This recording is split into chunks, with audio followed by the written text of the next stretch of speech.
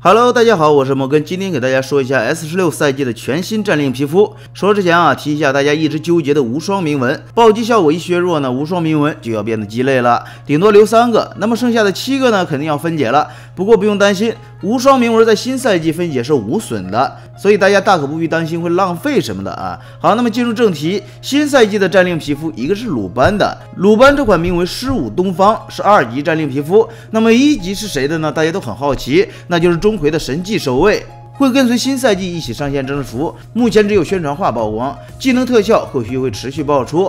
鲁班的二级战令皮肤狮舞东方的技能特效已经出来了，我们一起来看一下，真的超萌啊！出场特别有意思，鲁班出场武士特别喜庆，看着年纪好小，这个必须拥有啊，太可爱了。局内特效肯定不会差。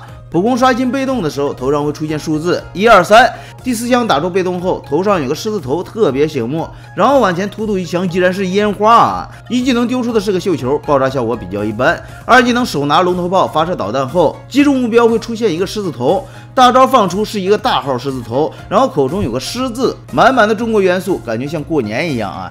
特别是鲁班这一身舞狮造型，估计行走起来啊会更加可爱。大家发现了没有？鲁班被动射击的动作是和电玩小子同款的趴下。如果是电玩小子和这款皮肤可以同时选择，你选哪个呢？好了，那么新赛季的两款战令皮肤就介绍到这里，我们下期见，拜拜。